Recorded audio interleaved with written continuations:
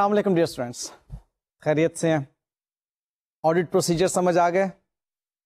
Test of control and substantive procedures और फिर substantive procedures में test of details and analytical procedures अब ये सारे प्रोसीजर्स ऑडिटर क्यों अपनाता है? Yes sufficient appropriate audit evidence हासिल करने के लिए। तो जी हमारा आज का जो टॉपिक है वो ऑडिट एविडेंस के बारे में अब देखिए ना ये ऑडिट एविडेंस हासिल होगा इस पर बेस करते हुए हम रीजनेबल एश्योरेंस हासिल करेंगे और फिर रीजनेबल एश्योरेंस पर बेस करते हुए यस ऑडिट ओपिनियन अब तो ये बात आपको याद होगी होगी अच्छी तरह। सो so, ये ऑडिट एविडेंस होता क्या है? इनफैक्ट ऑडिट एविडेंस इंफॉर्मेशन है, जो कि हमें अकाउंटिंग रिकॉर्ड्स में मिलती है। और ये कौन से अकाउंटिंग रिकॉर्ड्स हैं? जिन पर बेस करती हैं हमारी financial statements I repeat audit evidence क्या है? ये वो इंफॉर्मेशन है, जो कि हमें अकाउंटिंग रिकॉर्ड्स में मिलती हैं। और ये अकाउंटिंग रिकॉर्ड्स कौन से हैं? जिन पर बेस करके हमने फाइनेंशियल स्टेटमेंट्स बनाई हुई हैं। और ऑडिट किस चीज़ का कर रहे हैं? कि इन फाइनेंशियल स्टेटमेंट्स में कोई मटेरियल मिसस्टेटमेंट तो नहीं है? रेलिवेंसी समझ आ रही है ना?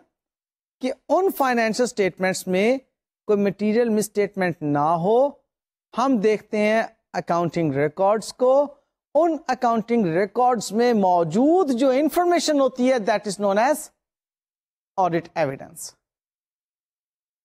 अब उस ऑडिट एविडेंस को हासिल करने के लिए हम या तो ऑडिट प्रोसीजर्स अपनाते हैं, जैसा कि हमने पढ़ा लास्ट टू लेक्चर्स के अंदर, या फिर कुछ अदर सोर्सेज होते हैं हमारे पास। आई रिपीट ऑडिट एविडेंस को हासिल करने के लिए हम या तो ऑडिट प्रोसीजर्स अपना रहे होते हैं, या फिर कोई और सोर्सेज होते हैं हमारे पास, जिन पर बेस करके हमें ऑडिट एविडेंस हासिल होते हैं। अब ऑडिट प्रोसीजर्स हम डिस्कस कर चुके हैं कि इसके अंदर हम टेस्ट ऑफ़ कंट्रोल करते हैं। जिसमें कि हम कंप्लायंस टेस्ट कर रहे होते हैं, जिसमें कि उसके डिज़ाइन को टेस्ट कर रहे होते हैं, उसकी इम्प्लीमेंटेशन को टेस्ट कर रहे होते हैं, और फिर उसका कंप्लायंस हम चेक कर रहे होते हैं। और फिर हम सब्सटेंटिव प्रोसीजर्स में टेस्ट ऑफ़ डिटेल्स कर रहे होते हैं, और एनालिटिकल प्रोसीजर्स अपना रहे होते हैं। इनसे हमें ऑडिट एविडेंस हासिल होते हैं। इनके अलावा हमें जो ऑडिट एविडेंस हासिल होते हैं, वो कुछ और सोर्सेज भी होते हैं, जहाँ से हमें ऑडिट एविडेंस हासिल होते हैं। वो कौन से सोर्सेज होते हैं? For example minutes of the meeting अब वो जो डायरेक्टर्स की मीटिंग्स हैं, वहाँ से आपको कुछ एविडेंस मिल रहे होते हैं। मिनट्स में सर्टन डिसीजंस होते हैं। Like provision for doubtful debt कितनी होगी? आया इन डेटर्स के लिए प्रोविज़न क्रिएट करना चाहिए या नहीं? अब ये एक डिसीज़न है मैनेजमेंट का। अब यहाँ पर ऑडिट एविडेंस हासिल करने के लिए आपको मिनट्स ऑफ़ द मीटिंग देखना पड़ेंगे। जिसमें कि अब आपको वो स्पेसिफिक डाउटफुल डेटर्स के बारे में बताया गया होगा। जिनके लिए आपने प्रोविज़न क्रिएट करना है। लिहाजा ये अदर देन ऑडिट प्रोसीजर्स आपके पास सोर्स है किसके लिए? ऑडिट एविडेंस हासिल करने के लिए। ठीक है? मजीद हम देखते हैं कि कंफर्मेशन फ्रॉम थर्ड पार्टीज़ हमें ऑडिट एविडेंस दिलाती हैं। अब ये कंफर्मेशन फ्रॉम थर्ड पार्टीज़ क्या है? फॉर एग्ज़ाम्पल डेटर्स को आप खत लिखते हैं। कि जी आप बताइए कि क्या इतने ही पैसे आपने देने हैं इस बिज़नेस एंटिटी के? आप बैंक को खत लिखते हैं। आप बताइए क्या वाकई क्या इतने ही पैसे आपके पास इस बिज़नेस के डिपॉजिट के तौर पर पड़े हुए हैं? सो so, ये कंफर्मेशन आप कर रहे हैं इन थर्ड पार्टीज़ से। रिगार्डिंग बैलेंसेस इसी तरह एनालिसिस रिपोर्ट्स आपको बाज़ात मुख्तलिफ़ एजेंसीज की एनालिसिस रिपोर्ट्स कुछ एविडेंस दे रही होती हैं, जो कि काम आता है आपके एनालिटिकल प्रोसीजर्स के अंदर।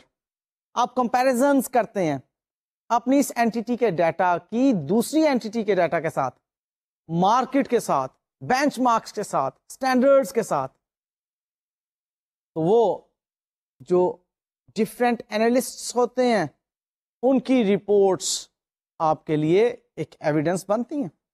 फिर कंपेरेबल डाटा अबाउट कंपेटिटर्स मिलती जुलती बात यह है कि कंपेटिटर्स का जो डाटा आपके इस ऑडिट क्लाइंट के डाटा के साथ कंपेयर हो सकता है, उसको आप देख लेते हैं। लाइक एनालिटिकल प्रोसीजर ही की बात चल रही है। कंपेटिटर इसी साइज़ का बिज़नेस कर रहा है, इतनी ही एक्सपोर्ट्स कर रहा है, इतनी ही उसकी डोमेस्टिक सेल्स हैं, उसका gross profit rate thirty percent है, आपका क्यों एटीन परसेंट है? यहाँ पर आकर ऑडिटर रुक जाएगा। ये क्या बात हो गई? वही साइज़ ऑफ़ बिज़नेस जो सेल्स हमारी हैं, उतनी ही सेल्स उसकी, लेकिन ग्रॉस प्रॉफिट रेट हमारा क्यों कम है? अब वहाँ से आपको एक एविडेंस मिल गया। आप अब इसको मजीद डिटेल में ले जाएँगे। कि यहाँ एक एरिया आपने ऐसा देख लिया जहाँ पर कि आपको प्रॉब्लम नज़र आ रही है। और इसी तरह की कई चीज़ें भी जहाँ पर कि आपको कंपेरेबल डाटा मिल जाता है कंपेटिटर से। एविडेंस आपको मिल गया अदर सोर्स से। मजीद कंट्रोल मैनुअल्स और फिर information obtained by the auditor from such audit procedures as inquiry observation and inspection अब वो other than the normal audit procedures control manuals को पढ़ता है, वहाँ से कुछ उसको एविडेंस मिलते हैं। इंक्वायरीज करता है इंस्पेक्शंस करता है इंटरव्यूज़ करता है, वहाँ से कुछ एविडेंस मिल रहे होते हैं। अब ये तमाम एविडेंस जो हैं, ये उसको मिल रहे हैं जो कि बहरहाल अकाउंटिंग रिकॉर्ड्स में मौजूद होते हैं। देखिए, आपको मैंने बताया कि एविडेंस क्या है? जो कि अकाउंटिंग रिकॉर्ड्स में इंफॉर्मेशन मौजूद है, वो एविडेंस है। और अकाउंटिंग रिकॉर्ड्स कौन से? जिन पर बेस करके फाइनेंशियल स्टेटमेंट्स बनाई गई हैं। अब वो अकाउंटिंग रिकॉर्ड्स में जो इंफॉर्मेशन मौजूद है, वो तमाम आपके ऑडिट एविडेंस हैं। अकाउंटिंग रिकॉर्ड्स को जरा समझ लीजिए। इसके अंदर तमाम आपके सपोर्टिंग डॉक्यूमेंट्स आ जाते हैं। इसमें आपकी बुक्स ऑफ़ अकाउंट्स आ जाती हैं। तमाम वो रिकॉर्ड्स आ जाते हैं जिन पर बेस करके आपने फाइनेंशियल स्टेटमेंट में इंफॉर्मेशन प्रेजेंट करना होती हैं। अब वो अकाउंटिंग रिकॉर्ड्स जो आपको इंफॉर्मेशन दे रहे हैं, वो ऑडिट एविडेंस बन रहा है। वो ऑडिट एविडेंस आप ऑडिट प्रोसीजर के ज़रिए से हासिल कर सकते हैं। और अदर सोर्सेज के ज़रिए से। ये वो अदर सोर्सेज हैं जो मैं आपको बता रहा हूँ, जिसमें आपने मिनट्स की बात की, जिसमें आपने कंपेटिटर्स के डाटा की बात की एनालिस्ट्स के रिपोर्ट्स की बात की कंट्रोल मैनुअल्स की बात की, आपकी इंस्पेक्शंस जो होती हैं इंक्वायरीज हैं इंटरव्यूज़ हैं, उनके ज़रिए से जो आपको इंफॉर्मेशन मिल रही है, वो तमाम आपके ऑडिट एविडेंस ही तो हैं। अब ये ऑडिट एविडेंस सफिशेंट अप्रोप्रिएट होना चाहिए। सफिशेंट अप्रोप्रिएट ऑडिट एविडेंस के बारे में आप कई मरतबा सुन चुके हैं। बल्कि ये तो चीज़ अब रट चुकी हुई है कि ऑडिट एविडेंस के साथ हमने सफिशेंट अप्रोप्रिएट के ये दो लफ्ज बोलने हैं हमेशा। तो ये सफिशेंसी और अप्रोप्रिएटनेस क्या है जो ऑडिट एविडेंस के साथ हमेशा बोली जाती है, इसके बारे में आज हम थोड़ी सी गुफ्तगु करेंगे। when we talk about sufficient audit evidence तो इसका मतलब है कि we are talking about quantity of the audit evidence And when we are talking about the appropriateness of the audit evidence, it means that we are talking about the quality of the audit evidence. Sufficient and appropriate audit evidence. बड़े आसान अंदाज से मैं ये बात दोबारा समझाता हूँ आपको।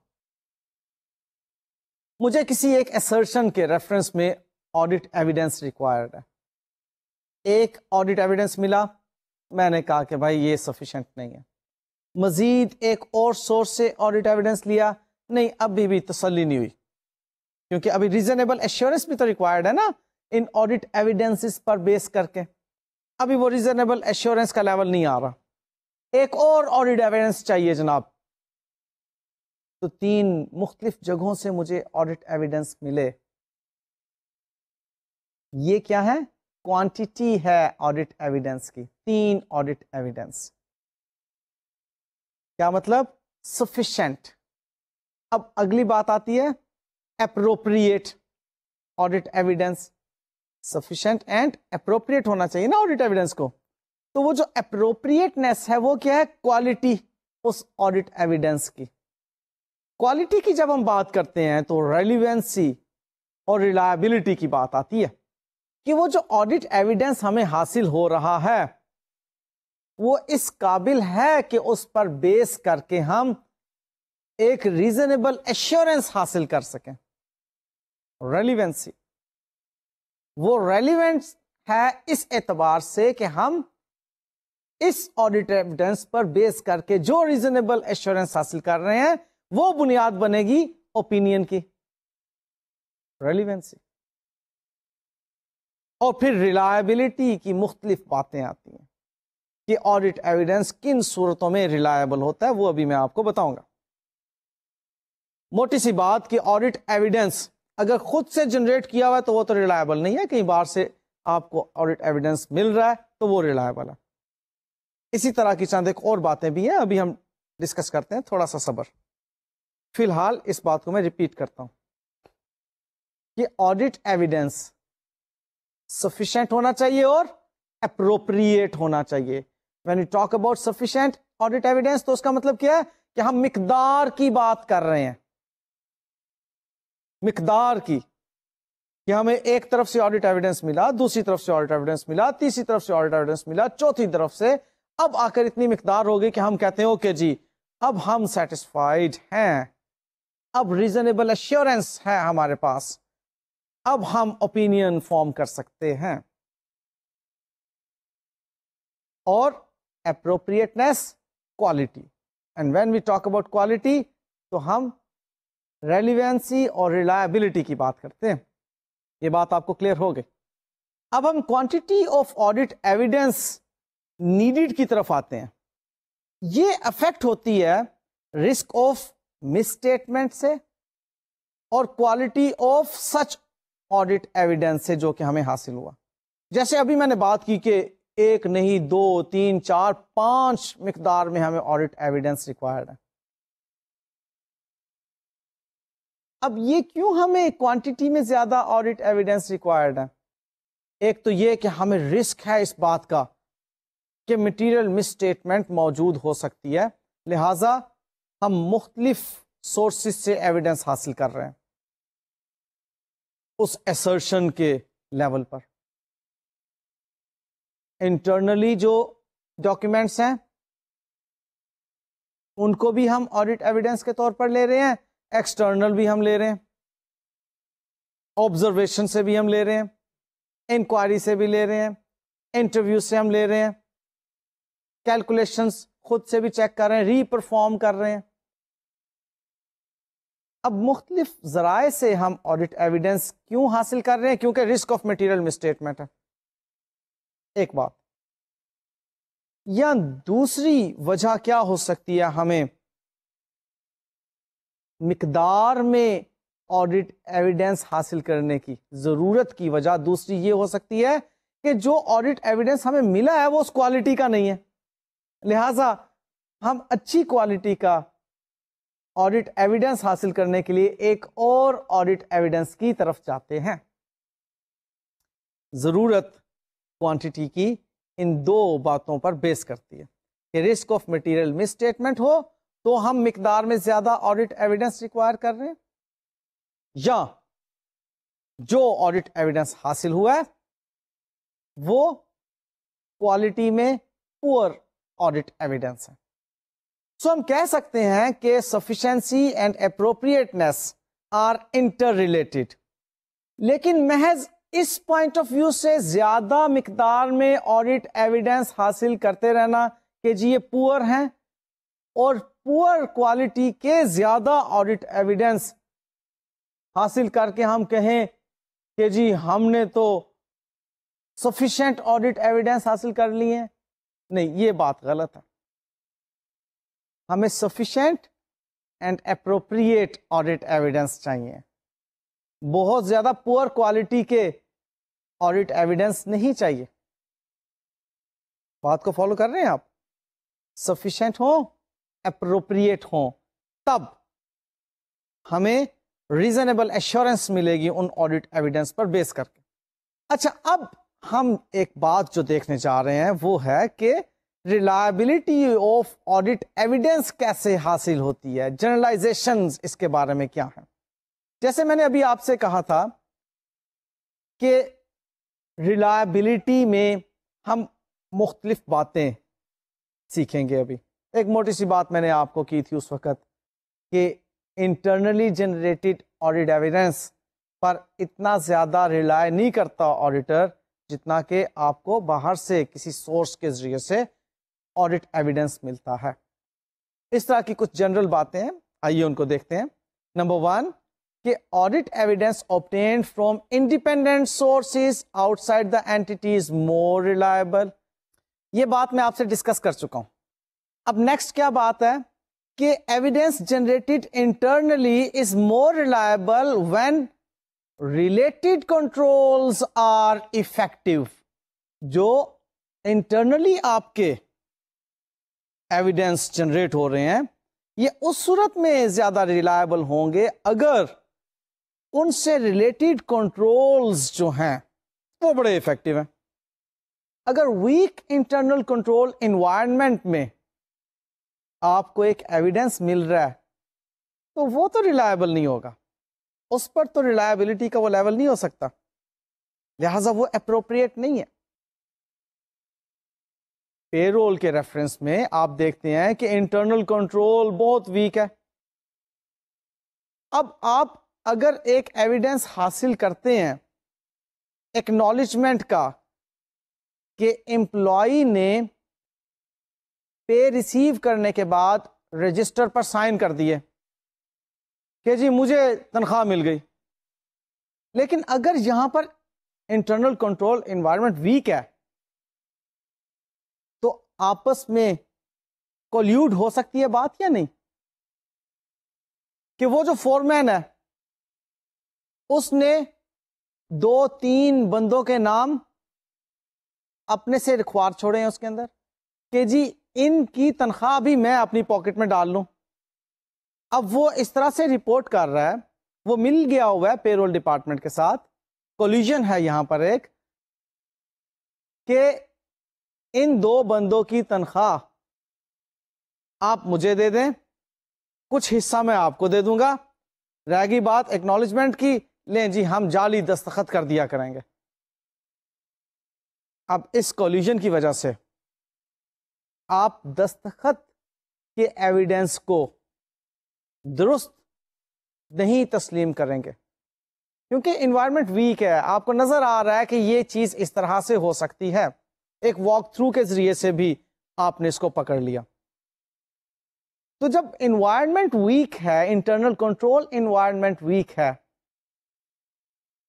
तो आप इस एक्नॉलेजमेंट के एविडेंस को एक्सेप्ट नहीं करेंगे। ये अप्रोप्रिएट नहीं है आपके लिए। लेकिन if the internal control environment is very much strict तो आप इस दस्तखत को कबूल कर लेंगे। एक स्ट्रिंजेंट किस्म का एनवायरमेंट है। उसमें वही शख्स एक्नॉलेजमेंट देता है जो हकीकत में रिसीव करता है। सेग्रीगेशन ऑफ़ ड्यूटीज़ हैं। कॉल्यूजन्स नहीं हो सकते। तो ऐसी सूरत में जो शख्स एक्नॉलेज कर रहा है वो एक करेक्ट पर्सन है। ओरिजिनल पर्सन है जिसने वाकई काम किया। सो so, बात क्या हो रही है कि आपके internally generated audit evidence reliable हो सकते हैं अगर कंट्रोल मज़बूत है। नेक्स्ट बात आती है evidence obtained by an auditor directly is more reliable than obtained indirectly और बाय इंटरफेरेंस फॉर एग्जांपल आप बैंक रिकंसिलिएशन में जो balance as per bank statement देख रहे हैं उसको आप वेरीफाई कर लेते हैं बैंक स्टेटमेंट से। अब वो बैंक स्टेटमेंट तो आपको आपके क्लाइंट ने प्रोवाइड की। गलत भी हो सकती है। आप क्या करेंगे? आप अपने लेटर हेड पर बैंक को एक लेटर भेजेंगे। बैलेंस कंफर्मेशन का। अब बैंक जो बैलेंस आपको बताएगा, उसको आप चेक करेंगे बैंक स्टेटमेंट के बैलेंस के साथ। और फिर आप तसली करेंगे कि ये एविडेंस मैंने खुद हासिल किया लिहाजा ये रिलायबल है। भले वो सेम ही क्यों ना हो। लेकिन जो बैंक स्टेटमेंट का बैलेंस आपके क्लाइंट ने आपको बैंक स्टेटमेंट की मौजूदगी में दिखाया वो आपका हासिल किया हुआ एविडेंस नहीं है। आप इंडिपेंडेंटली जो एविडेंस हासिल करेंगे, वो आपके लिए ज़्यादा अप्रोप्रिएट है। ज़्यादा क्वालिटी का ज़्यादा रिलायबल है। बात को फॉलो कर रहे हैं ना? सो नेक्स्ट हम एक और बात देखते हैं इसमें कि written evidence is more reliable than oral representation जो एविडेंस आपको तहरीरी शक्ल में मिल रहा है। फॉर एग्ज़ाम्पल रेंट डीड की बात है। आप रेंट डीड के लिए अगर कोई रिटर्न एविडेंस नहीं पाते आप लैंडलॉर्ड के पास चले जाते हैं। आप कहते हैं, जी, ये शॉप मेरे क्लाइंट ने आपसे रेंट पर ली हुई है। इसका रेंट कितना है? वो आपको एक फिगर बता देता है। अब वो आपके लिए इतनी रिलायबल बहरहाल नहीं होगी जितनी के तहरीरी डॉक्यूमेंट आपके लिए रिलायबल होगी। ठीक है ऑरल भी आप ले सकते हैं ऑडिट एविडेंस लेकिन जो तहरीरी ऑडिट एविडेंस है, वो ज़्यादा रिलायबल है। ऑरल के बारे में याद रखिएगा। अकाउंटेंट भी, जो सही मानों में अकाउंटेंट हैं, वो महज जुबानी कलामी सपोर्टिंग्स को या सब्सटेंस को बेस करके ट्रांजैक्शंस रिकॉर्ड नहीं किया करते। उनके लिए भी जो सब्सटेंस है, जो सपोर्टिंग डॉक्यूमेंट हैं, वो बहुत ज़रूरी होते हैं। और ऑडिटर भी जब ऑडिट कर रहा है तो एविडेंस उसी को कह रहा है ना, वो जो इंफॉर्मेशन अवेलेबल है, उन अकाउंटिंग रिकॉर्ड्स की सूरत में। वहाँ पर वो ओरल को कभी भी सपोर्ट नहीं कहेगा। सपोर्टिंग डॉक्यूमेंट होना चाहिए।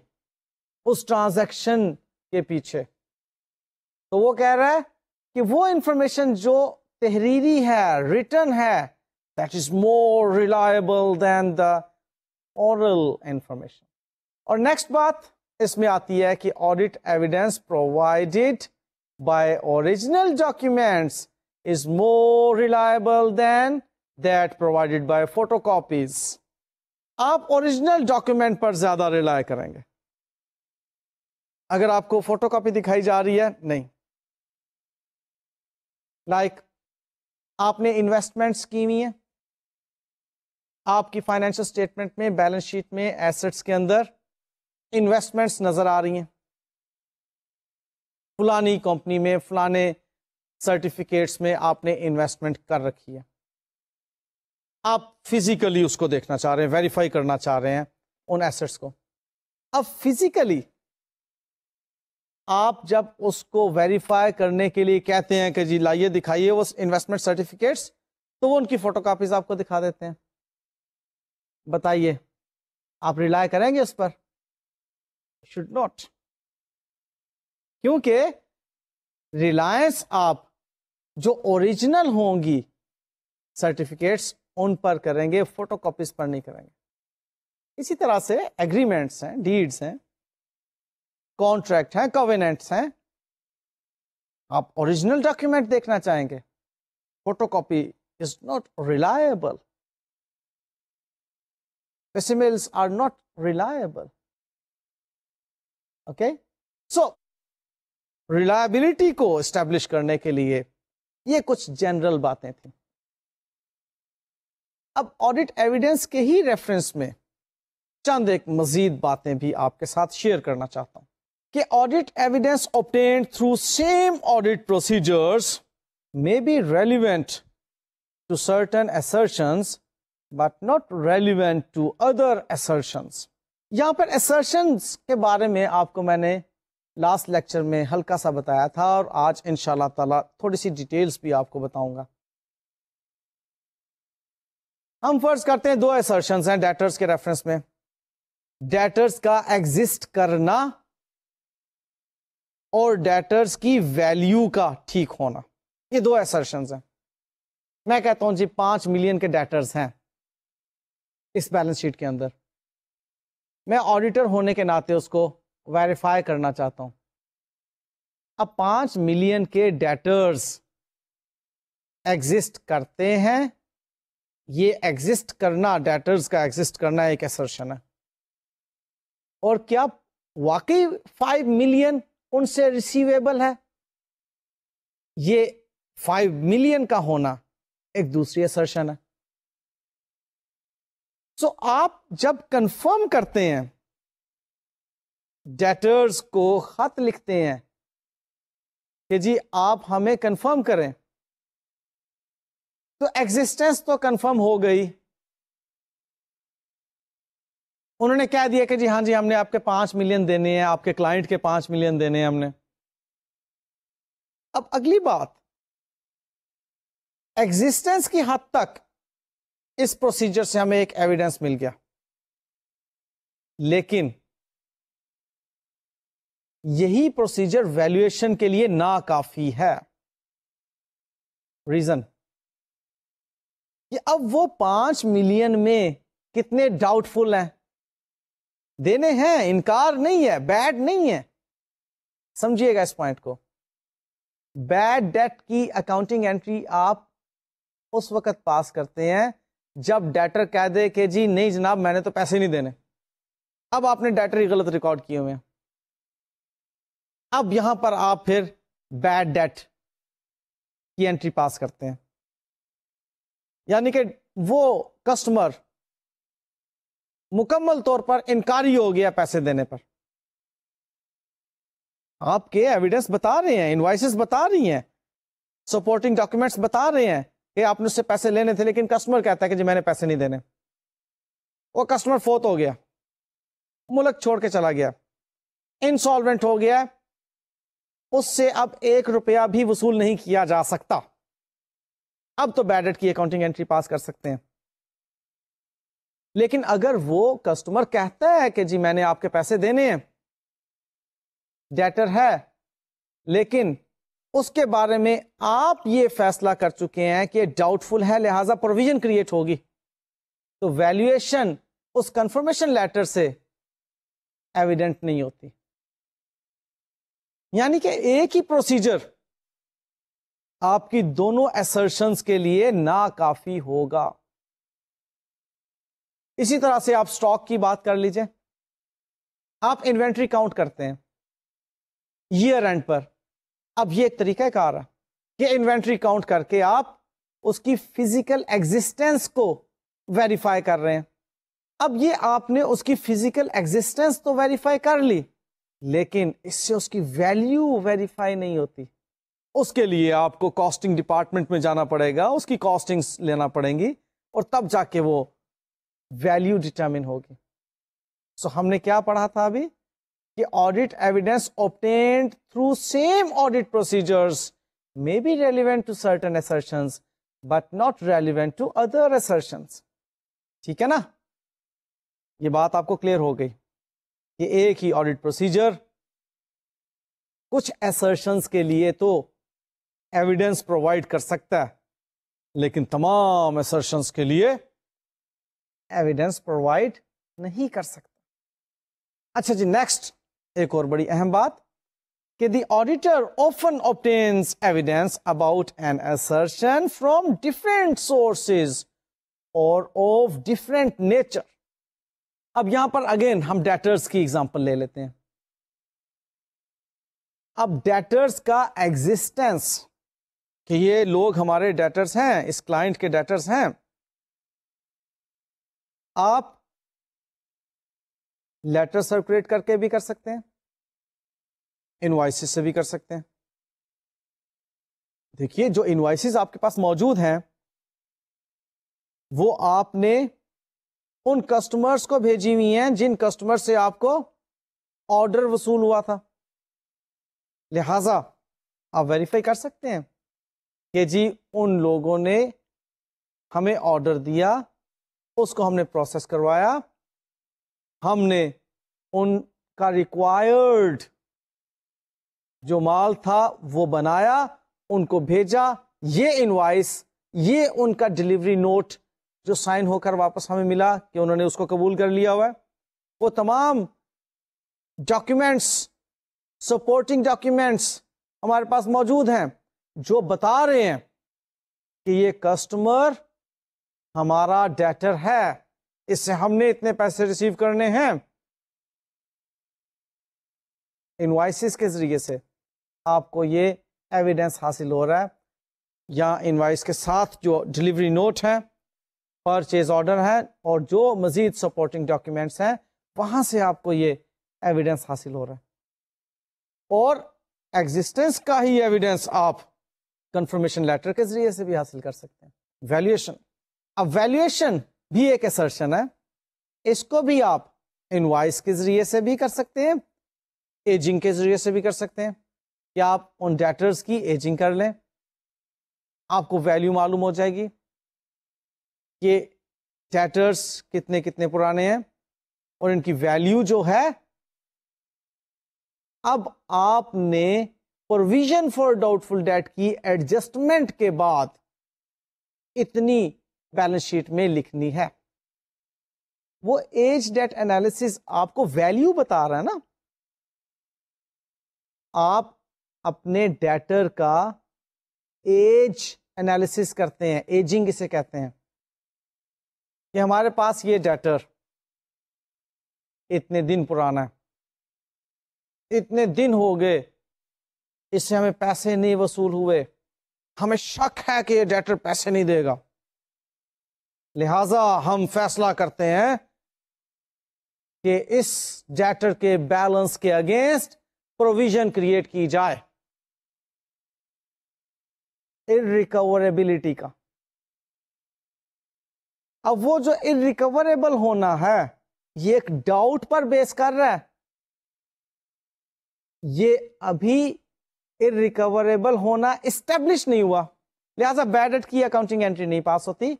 यहाँ पर प्रोविज़न फॉर डाउटफुल डेट की अकाउंटिंग एंट्री पास होती है और तब जाके हमारे पास कैरिंग अमाउंट आती है जो कि बैलेंस शीट में लिखना होती है। एज डेट एनालिसिस हमें बता रहा है कि आपने ये वैल्यू लिखनी है। सो so, हम किसी एक असर्शन के बारे में ऑडिट एविडेंस हासिल करने के लिए एक से ज़्यादा प्रोसीजर्स अपना सकते हैं। मजीद ये कि evidence about an assertion is not a substitute for evidence regarding another assertion हमने एग्जिस्टेंस के लिए जो एविडेंस लिया, वो वैल्यूएशन के लिए एक सब्सिट्यूट नहीं हो सकता। उसके लिए वैल्यूएशन के लिए अलग से हमें एक एविडेंस रिक्वायर्ड है। उसके कंट्रोल में होने के, उसके राइट के एस्टेब्लिश होने के लिए हमें अलग से एक एविडेंस रिक्वायर्ड है।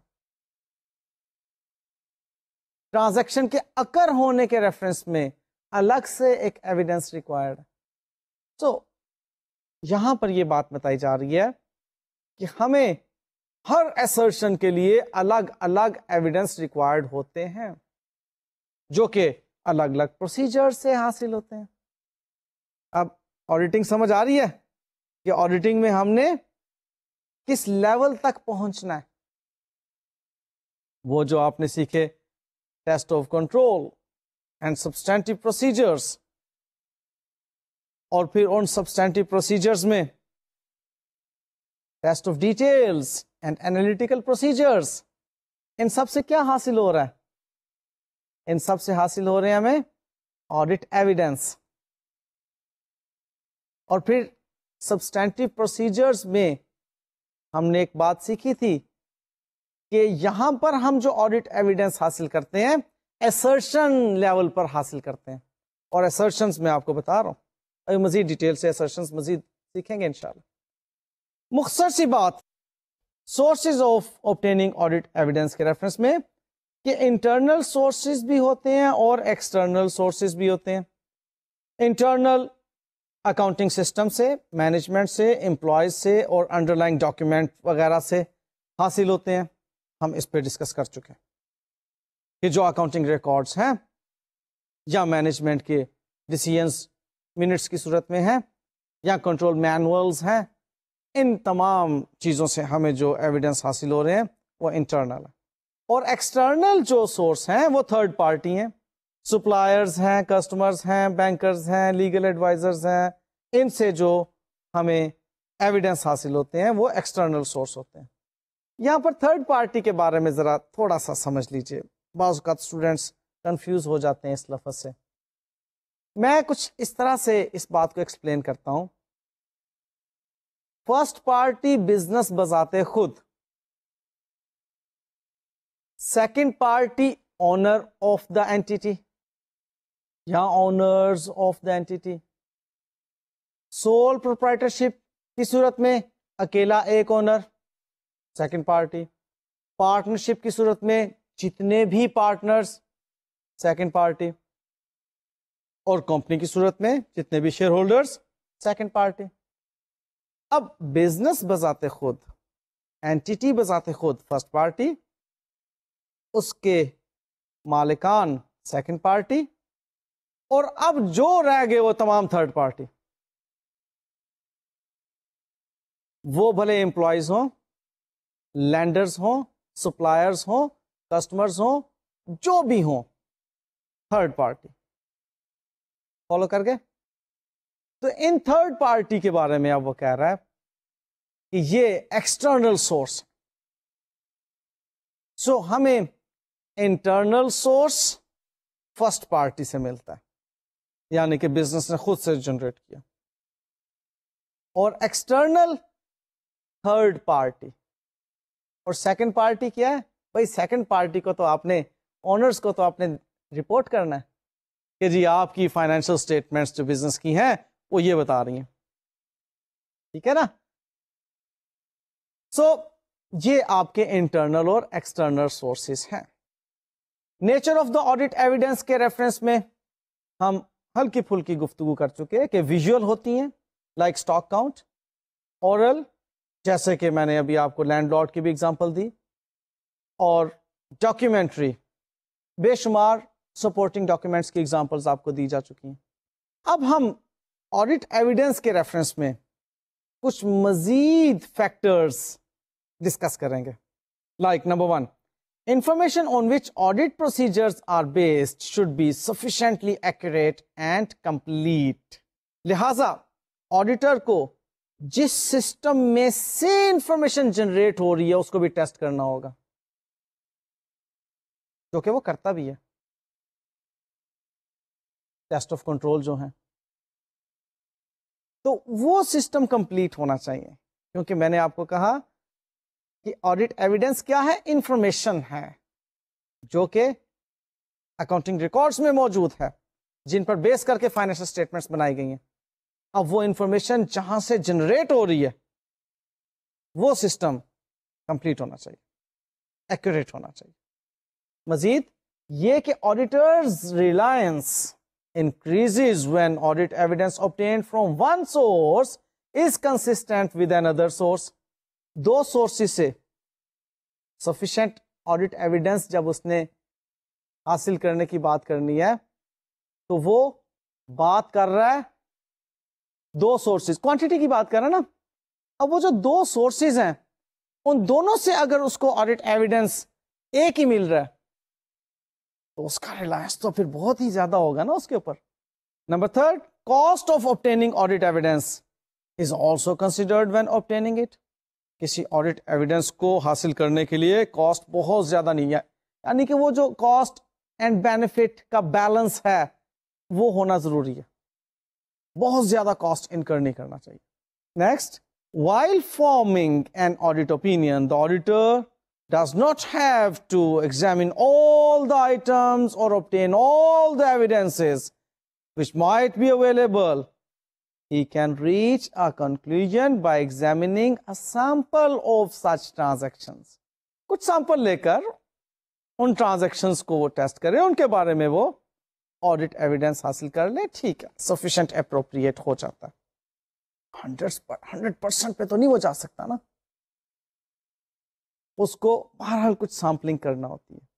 और फिर एक और बहुत अहम बात ऑडिट एविडेंस के रेफरेंस में कि auditor also relies on persuasive audit evidence अगर वो लेस देन परसुएसिव है तो उस पर वो रिलाय नहीं करता। यानी कि ऑडिटर को परसुएट कर रहा हो वो एविडेंस के जी ठीक है ये चीज़। देखिए, एक बात पहले भी हमने पढ़ी थी ऑडिट एविडेंस के बारे में कि कंक्लूसिव तो नहीं होता, खत्मी तो नहीं होता।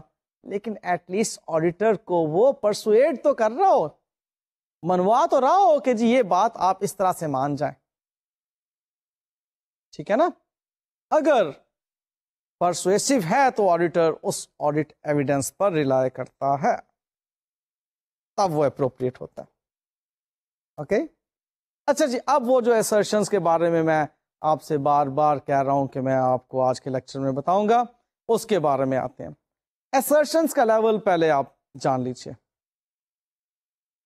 ट्रांजैक्शंस की classes account balances and disclosures इन सब पे मुख्तलिफ़ असर्शंस होती हैं, जिनके बारे में ऑडिटर ने ऑडिट एविडेंस हासिल करना होते हैं। आइए उनको देखते हैं। Like assertions about classes of transactions and events of the period under audit, उसमें अकरेंस को देखा जाता है कंप्लीटनेस को देखा जाता है एक्यूरेसी को देखा जाता है कट ऑफ़ को देखा जाता है और क्लासिफिकेशन को देखा जाता है कि वो जो ट्रांजैक्शंस आपको फाइनेंशियल स्टेटमेंट में इंफॉर्मेशन के तौर पर नज़र आ रही हैं अकर भी हुई थी या नहीं? फिर कंप्लीट भी हैं या नहीं? उसी बिज़नेस से मुतलक है या नहीं? उसी पीरियड से मुतलक है या नहीं? आपको क्लासेस ऑफ़ ट्रांजैक्शन लेवल पर आकर ये डिफरेंट असर्शंस वेरीफाई करना होती हैं, जो कि सब्सटेंटिव प्रोसीजर्स के ज़रिए से आप वेरीफाई करते हैं। इनके बारे में आप एविडेंस हासिल करते हैं। अगली असर्शन का लेवल आता है account balances at the period end के हवाले से। उसमें असर्शन क्या हैं? कि जी, ये एसेट्स लाइबिलिटीज एंड इक्विटी की बातें एग्जिस्ट भी करती हैं या नहीं? राइट्स एंड ओब्लिगेशन यानी कि ये अगर एसेट्स हैं तो आपके कंट्रोल में हैं, और अगर ये लाइबिलिटीज हैं तो वाकई आपकी ओब्लिगेशन है ये on the date of report ये एक असर्शन है ना? जब लाइबिलिटी कह दी जाती है तो ये लाइबिलिटी जो होती है, ये एक ओब्लिगेशन होती है। एक असर्शन है आपकी तरफ़ से कि जी ये ओब्लिगेशन अब क्या वाकई ये ओब्लिगेशन है आपकी? इसके बारे में आपको ऑडिट एविडेंस रिक्वायर्ड है। फिर कंप्लीटनेस कि all assets and liabilities and equity interest यानी कि ऑनर्स इक्विटी की बातें that should have been recorded have been recorded जिनको रिकॉर्ड होना चाहिए था, वो रिकॉर्ड हो चुकी हैं। कंप्लीट है हमारी बैलेंस शीट ऐसा नहीं है कि कुछ एसेट्स हैं जो कि रिकॉर्ड ही ना हुए हों। तो लाइबिलिटीज के बैलेंसेस हैं जो कि हमने ऑफ़ बैलेंस शीट कर दिए हों। Should have been recorded have been recorded और क्या सर्शन है? कि वैल्यूएशन एंड एलोकेशन क्या assets and liabilities and equity interest are included in the financial statement at appropriate amount जो उनकी वैल्यू होनी चाहिए थी, उस पर आपने उसको शो कर दिया हुआ गलत नहीं है वो अमाउंट जो आपको बैलेंस शीट में नज़र आ रही। फिर अब आ जाती है next level of assertion disclosures का। इसमें हम देखते हैं occurrence and rights and obligation कि वो जो इवेंट्स डिस्क्लोज किए जा रहे हैं, वाकई अकर हुए थे। जैसे events occurring after the balance sheet date के बारे में हम डिस्क्लोजर देते हैं। हम कंटिजेंसीज के बारे में एंड कमिटमेंट्स के बारे में डिस्क्लोजर्स देते हैं। अब ये वो चीज़ें हैं जो बैलेंस शीट में या फाइनेंशियल स्टेटमेंट्स में नहीं है। हम डिस्क्लोज करते हैं कि user of the financial statement जो है इसके बारे में मालूम हासिल कर ले, आगाही हो जाए उसे। अब अगर हमने एवं ही डिस्क्लोज कर दिया तो गलत हो गया ना काम। तो हमें वहाँ पर इस चीज़ के बारे में भी एविडेंस रिक्वायर्ड होता है कि वाकई ये इवेंट जो after the balance sheet date है अकर हुए थे। ये कंटिजेंसीज एंड कमिटमेंट्स वाकई हमारे इस बिज़नेस से रिलेटेड है। फिर कंप्लीटनेस ये कंप्लीट है in all respect classification and understandability कि financial information is appropriately presented and described and disclosures are clearly expressed और फिर एक्यूरेसी एंड वैल्यूएशन कि जो आप वैल्यूएशन डिस्क्लोज कर रहे हैं फाइनेंशियल इफेक्ट्स उन चीज़ों के जो डिस्क्लोज कर रहे हैं वो एक्यूरेट है। सो so, ये हैं वो असर्शंस जिनके बारे में आपको मैं कई मरतबा कहता चला आया कि असर्शंस के लेवल पर आके हमें ऑडिट एविडेंस रिक्वायर्ड है। उसके लिए ऑडिट प्रोसीजर्स हम अपनाते हैं। ये हैं वो असर्शंस तो असर्शंस के लिए हम जब भी बात करेंगे हम क्या बात करेंगे? कि classes of transactions account balances and disclosures की असर्शंस के लेवल पर हम ऑडिट एविडेंस चाहते हैं जो कि सफिशेंट अप्रोप्रिएट हो, ताकि एक रीजनेबल एश्योरेंस हासिल हो सके, जिस पर बेस करके हमने एक ओपिनियन फॉर्म करना है। ऑडिटिंग समझ आ रही है। ठीक है? चलें। आज तक के लिए इतना ही। मज़ीद इन ताला नेक्स्ट लेक्चर के अंदर। मुझे इजाज़त दीजिए। अल्लाह हाफिज़।